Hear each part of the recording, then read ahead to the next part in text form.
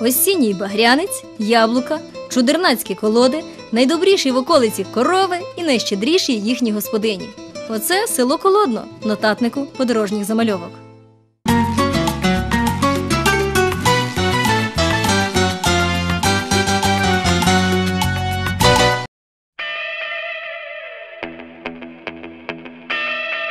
Добре мандрувати пішки, коли є вдосталь часу. А як поспішаєш, при нагоді файний гід із супертранспортом. Знайомтесь, Ігор Горбоніс і його всюдихід, заслужений ветеран доріг з Баращини. Веселоний добродух за натурою, пан Горбоніс відповідально ставиться до своїх обов'язків, дбає про благоустрій села, його жителів, не забуваючи давню славну історію. По крупинці чоловік збирає етимологічні відомості про колодно. І як тішиться, коли віднайде щось новеньке. У церковно-слов'янській літературі перша офіційна згадка датується серединою 16 століття. Колишнє князівське містечко колодно потерпіло від турецького нападу. Та крізь віки й лихоліття вистояли нетлінні свідки історії, дзвіниця і церква, архітектурні пам'ятки 16-18 віків. Філігранна дерев'яна церква посеред блакиті осіннього неба, посеред тисячі тисяч багряних кленових листків. Хіба не диво у наших подорожніх замальовках?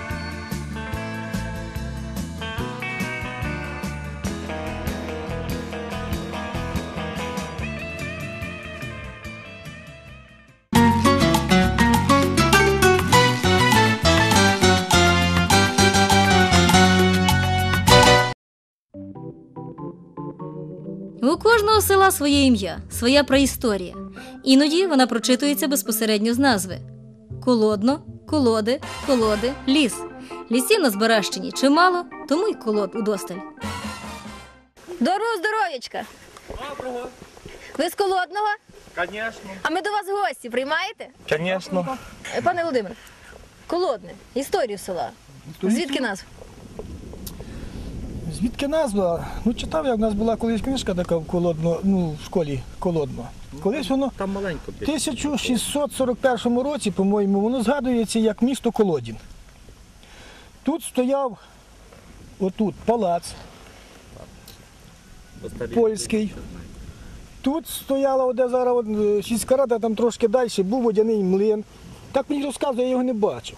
В 61-му році, то я пам'ятаю, як палац зірвали, то аж вікна, ну, я недалеко тут живу, вікна в хаті розліталися. На місці того палацу люди, ну багато хто повикопував собі там будівельні матеріали, хати побудували, з фундаментів фактично. Бо так розказували свідки, що як воно приїхали ті хлопці, сапери, як підложили там під нього, і воно тільки гухнуло, і так і він все сів. Не думаючи про назву села, а тим паче про колоди, ми все ж постійно на них натрапляли. Великі такі, ледве уміщалися в око нашої камери.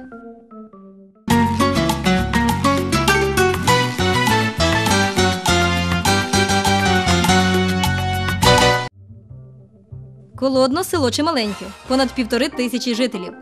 Великі розгалужені вулиці, гарні хати, красива школа, багато дітлахів. Частина з них приїжджає до колоднянської школи із сусідніх сіл. Дружні, веселі, підтримують героїчний дух своєї батьківщини. Я Данило. Е, У нас на двох один жупан і одна гармата. Е, Буде ворог України від нас лихо мати. Похід з полуночі заплакала Марусенька в свої ясні очі. Не плач, не плач, Марусенько, не плач, не звідайся.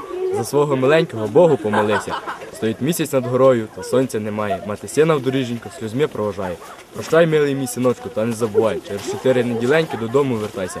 Рад би я матусю, скоріше вернутись. Та щось кінь мій вороненький у воротях світнувся.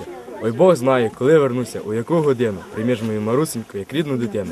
Прийми ж її матусенька, бо все в Божій волі, бо хто знає, чи же вернуся, чи ляжу у полі.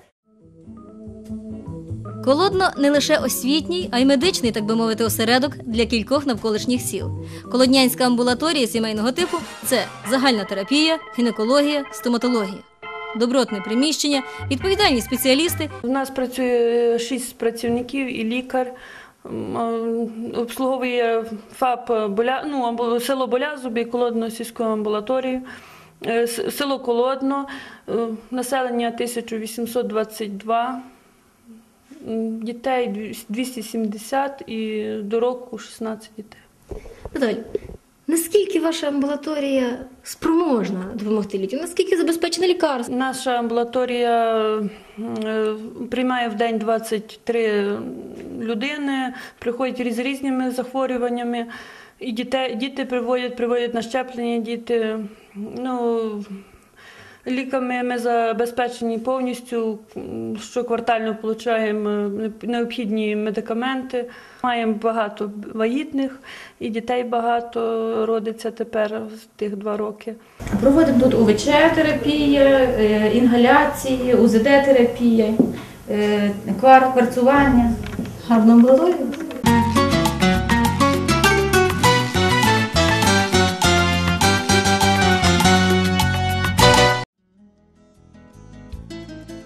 Колодно це Збаращина, а Збаращина це яблука. Смачні, міцні, корисні. Люблять їх і дорослі, і діти, і корови. Ця жовтогаряча красуня апетитно наминала колоднянське яблука, просячи ще і ще. Вона з вдячністю вдивлялася з-під довгих вій на фантастичних гостей, які так їй догодили.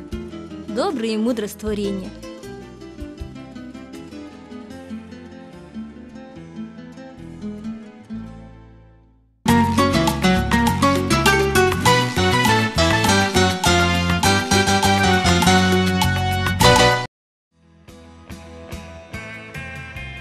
Добрі і мудрі в колодному й люди.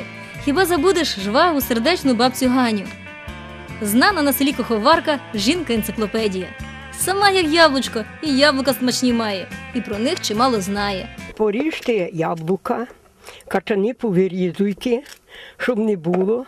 І тоді їх на вольному вогні перед, бо вони сильно будуть текли. Як вони трошки присохнуть, тоді лучий вогонь, лучий дух, лучий, вони висохнуть на тараньку. І тоді вони не поцвітуть, нічого, буде добре сушення. А на сонцю не добре.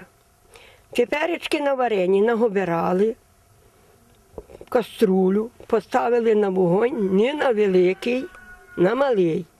Воно помаленько яблуко розплелося, і тоді засипаєте цукру. Бо якщо засипете цукор на яблука, то яблука не розійдуться, бо він зараз затверне. А як вони розмножаться, то тоді вони застигне, варення буде густе. Яблука пекла такого. Накладаю в каструльку чи в пательню і ставлю їх там в духовку, без води, без нічого. Накриваю. І вони так, як бараболі, спечуться, і все. Бо як великий вогонь, воно припече їх, шкірка пригарує, а вольніший. І вони помаленьку спечуться. І такі добрі яблука. Ганна Семенівна Мацієвська стала героїною нашої передачі Земне тяжіння про колоднянські яблука.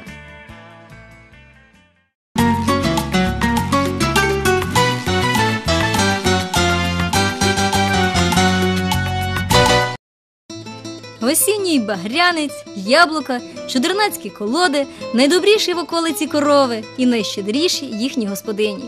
Оце село Колодно нотатнику подорожніх замальовок.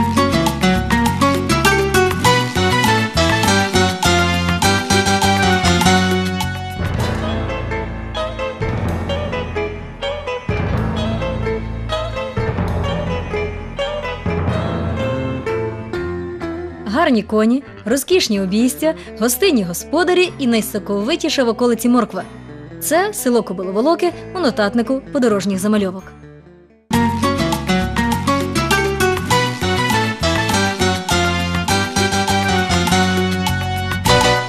Подорожні замальовки, друзі, в Кобиловолоках на Теребулянщині. Ми обрали собі транспорт. Зрозуміло, назва села зобов'язувала запрягти цих чудових коней. Їдемо, дивимося і записуємо, замальовуємо наші нотатки. Знайомтесь, їздовий Михайло Югас, водій професіонал. Любить коней, дітей, цінує життя, вірує в Бога та Україну. Коні кара старша і кара молодша 10 і 3 роки. Люблять овес, яблука, моркву, У людях цінують надійність, щедрість і добре серце. Михайло Дмитрович, ви водій, професіонал? Ну, ну ж я раніше робив на автобусі, потім я заболів. Е, У мене цукровий діабет, я вже 30 років інсулін получаю. Ті держу ті коні біля дому, господарка. Ти так помаленьку живемо. Пане Михайле, кобиловолока. Багато коней? Ну я не можу сказати, багато трохи є коней. Наскільки коні нині, коли є купа машин довкола, та допомагають Е, Людям, селянам. Коні набагато людям допомагають. Ну, коня треба тримати і давати йому е, добрий корм їсти, щоб ним робити щось. То моя професія, я їх сильно люблю. Я з самого дитинства, ото моя душа до коней. Не то, що була для, до транспорту, а саме більше до коней. І так я по нинішній день живу, тримаю і тут справу люблю. Скільки мали літ, як перший раз на коня сіли? Ну, десь років, може, 6-7. То було Я- без сідла? Ні, без сідла. Батько їздив раніше кіньма. Я ззаді чіплявся там ззаді, він потім мене батогом додому наганяв, щоб бо їхали до Буданова по хліб там е, на пекарню. Та й не хотів брати мене з собою, бо всяка погода в дорозі. Але я А ви як чіплялися? ззаді за, ззаді за фіргу. Тррр, станція перша. Історія села. У дослідженнях Хільницького, старовинні галицькі міста та нарисах Василя Щурата з історії Кобиловолок дізнаємося. Село виникло в другій половині 14 століття, а точніше у 1394 році. Кобиловолоки розташовані на найвищій місцині Теребовлянщини. Існують перекази, що назва села походить від словосполучення кобилу волокли через непролазні болота, які містилися довкола. Можливо, пов'язана вона із чумацтвом у Прикарпаття, куди селяни їздили по сіль. Є ще одна цікава версія. Її розповіла жителька Кобиловолок Текля Карпіш. Через постійні напади татарів мешканці Борончина та Окопу переселилися у більш захищені тутешні місця. Поселення виникло навколо джерела у мальовничій долині. Джерело й досі називається Кобилянка. Там проживав великий землевласник, поля якого вимірювали численними волоками. Цей землевласник вирощував коней, племінних кобил. З далеких сторін до нього приїздили купці. Звідси й вислів їхати по кобили на волоки. У 1964 році кобиловолоки перейменували у жовтневе. Та у 90-х з ініціативи руху селу повернули первинну назву.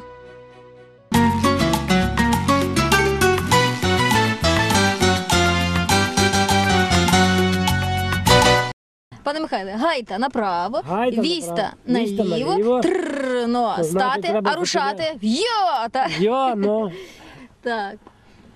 Як от взимку взимку гарно. сані запрягаєте? так? Запрягаємо сані, м, гарні дзвіночки чіпаємо на коні і десь можна поїхати, покататися, в гості поїхати. А ви так нині то все поприкрашали такими бамбонами, то вас так кожен день чи до, до, до нас так готувалися? Так що? Кожен день людина вбирається красиво, як на роботу збирається. І треба і коні прибрати, кудись їхати. Особливо як де якому селі праздник, жінку Да, берете. Всіх, хто не є.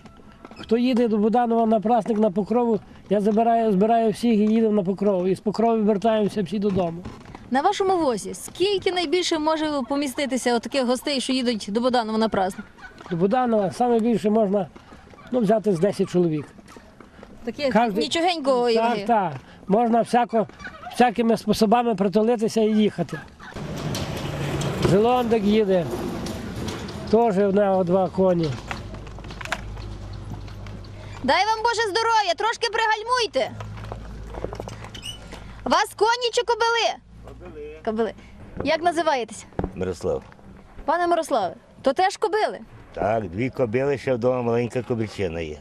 Ви дивіться, як ви кажете, то така назва села, що так у вас багато коней. Щось таке, щось подібне таке. Ваші кобили, скільки їм вже? Ну, одні вже 18, а другі всього на всього 3. То вже 8, одна 18 років, друга 3 роки. Як годяться? Нормально. Вони між собою родичі? То дочка. То дочка. В плужі вже ходить, в бороні йде спокійно.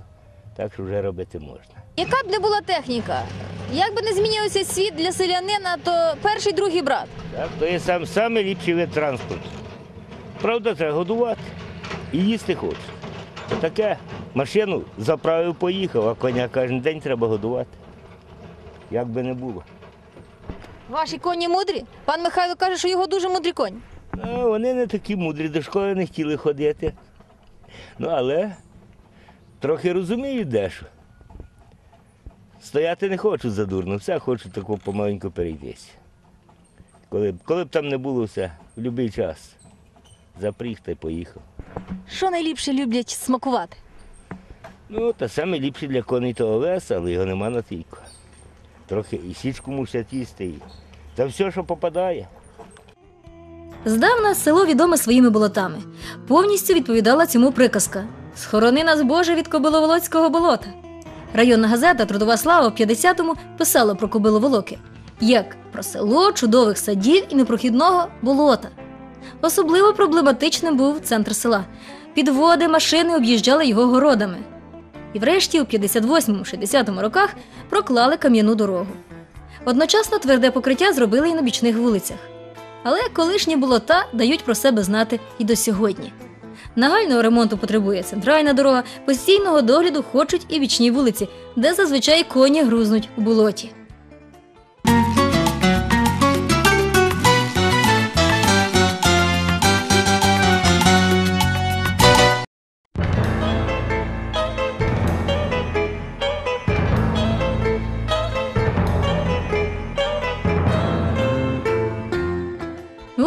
Свій транспорт. Ми ж продовжуємо мандрувати кіньми, карами з паном Михайлом.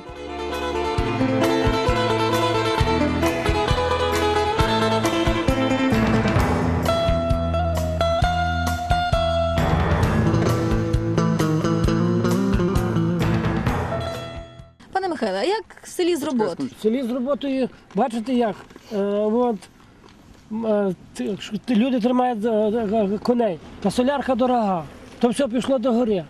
Ну а конем якось трохи і обробить.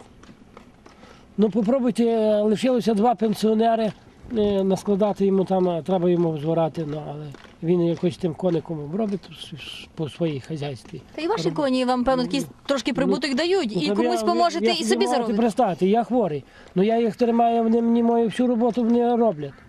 Я якщо вже не годен так робити, то я помаленьку, але я собі зроблю свою роботу. Маєте спиртзавод в селі, трохи молодь там працює? Е, На спиртзаводі багато працює. І тепер ще дякувати їм, е, тому спиртзаводу і тому директорові, що вони тую брагу, що відходи є, що там е, дають людям, і люди кормлять худобу. Гуральню побудували у 1905 році. Належала вона тоді графу Дудіну Борковському. У 60-х в Кобиловолоках організували спиртово-консервний завод. Зараз спиртзавод продовжує працювати. Це і робочі місця для кобиловолоцьких жителів, і підтримка економічного розвою району.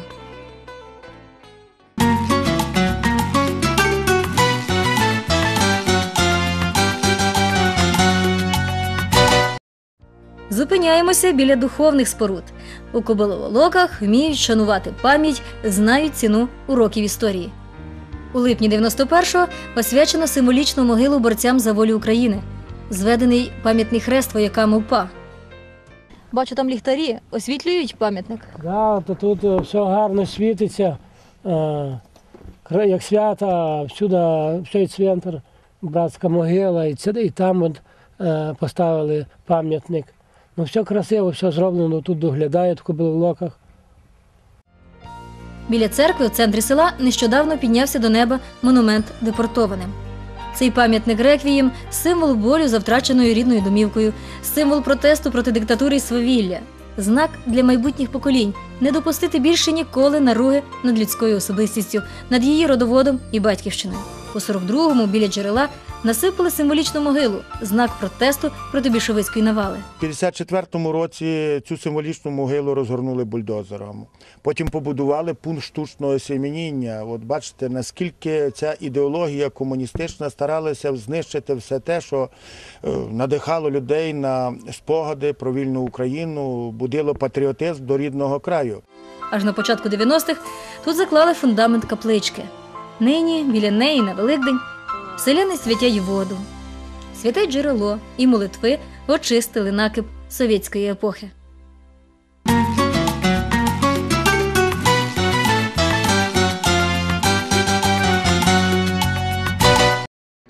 Багата, насичена історія села.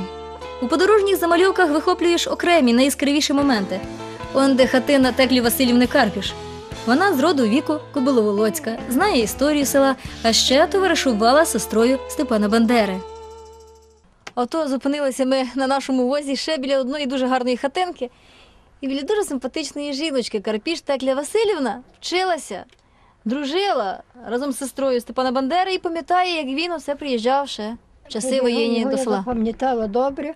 І так ще виджу на її, тепер вже стара, але ще виджу, як він. Ми бігли всі дивитися, бо Оксани брат приїхав.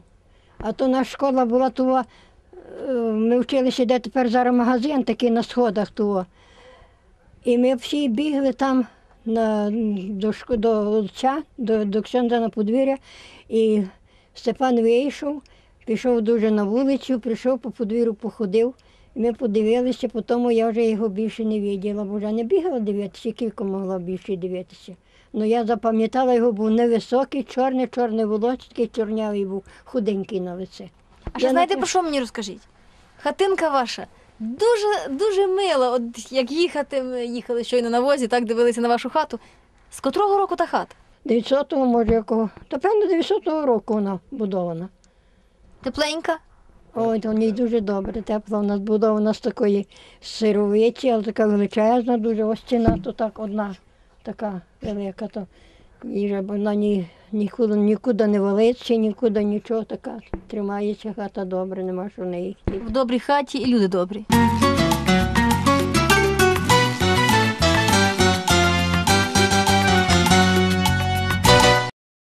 Велике село Кобиловолоке, майже 600 дворів.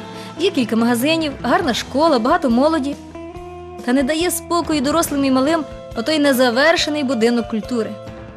Там дуже багато ми, є кімнат, і ми хочемо, щоб там був теніс, щоб там були е, різні концерти, бібліотека. Там можна було відпочити. Ну там зараз так як вже є там бібліотека, проводяться різні з- різні змагання. Концерти, щоб його добудували, щоб було утеплення, то в зимі холодно там. Проект гарний. Розпочали у 90-х. Уроджений з села Мирослав Кулька вніс до плану будівлі вагомі зміни. Та брак коштів перетворив будинок культури на довгобут. Споруда не завершена. Коштів не вистачає на споруду. Немає, е, хотіли тут е, е, медпункт е, взагалі переселити. Нема грошей. На все коштів не вистачає. Все руйну, руйнується. І взагалі бачите самі, що в центрі села просто негарно, як воно е, таке не, незавершене будівництво стоїть. Цей будинок став би розважальним центром не лише для кобиловолоцької молоді, адже до школи приїжджають діти із сусідніх шкіл. Та й автобус шкільний є. Дівчатка, ви з якого села? Я з Мшинця. Я з села Наниська. Я з села Наниська. Я вже їжджу на цьому автобусі два роки. Е, мені дуже в ньому зручно їздити. Мені подобається в ньому їздити. Е, Я ем, навчалася в Мшинецькій школі, закінчила 9 клас, прийшла сюди, навчаюся зараз в 10 класі. Е, Їжджу е, від початку навчального року. Цей автобус прекрасний, шофер теж заїжджає в нас. Е, Пів восьмої, е, сьома тридцять він чекає нас на автобусні. Ми всі приходимо, е, робить обхід і привозить нас до школи. Збираємо з всіх сіл, Шанець, Дернівка. Я кажу, з інших сіл скільки дітей. Ось 70 вилазить з автобуса, два рази вертає, дві ходки. О, зараз розвозить назад. От тут дві ходки. Добре є, що маєте свій транспорт. Чудесно. То друга школа в районі, що має свій шкільний автобус. О, В районі є один і Хто посприяв? е, сільський голова і завідуючий освітою. Гарна вас школа, маєте свою ділянку, самі обробляєте. Маємо, маємо землю, маємо 4,5 гектари землі. От зараз йде мова про е, професійну школу. Ми вже давно її маємо. От, маємо поле, діти там е, здобувають професію тракториста, кожного року здають на права, не треба в Будани в ПТУ йти на навчання. От отримують такі самі е, права, як всі. Попередній рік то ми випустили також дітей, е, е, операторів комп'ютерного набору, також з дипломами. То от наші діти поступали в ПТУ, е, техніку, ми дивувалися, що в середній школі такі професії. У нас вже професійна підготовка, ми до неї готові.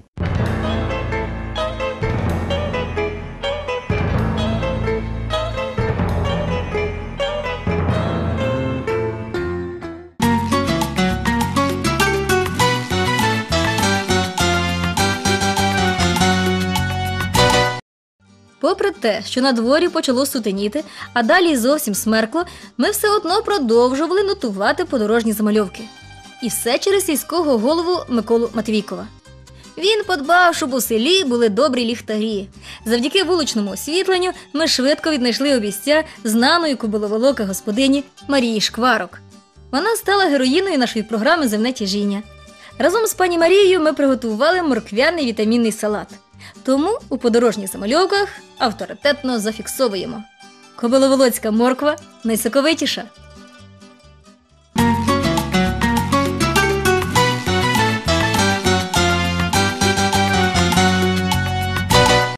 Друзі, передача подорожні замальовки нині завітала до села Кобиловолоки. Двоє красивих кобил, одна старша, друга молодша, дві кари, одній три роки, іншій понад десять. Нас возили, супроводжували, а разом з ними їх файний господар Михайло Югас. На цьому наша мандрівочка завершена. Повертаємося додому. Дякую вам, що добре нам відслужили свою службу.